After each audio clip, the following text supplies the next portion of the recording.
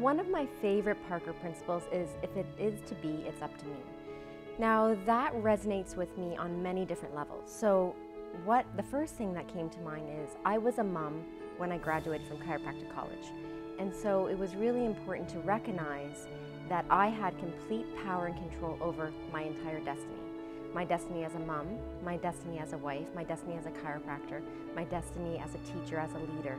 And so taking that philosophy more than just a principle and applying that to not just my life professionally, but every aspect of my life allowed me to grow and expand and really reach goals that I never thought were attainable. So, and I just keep going from there.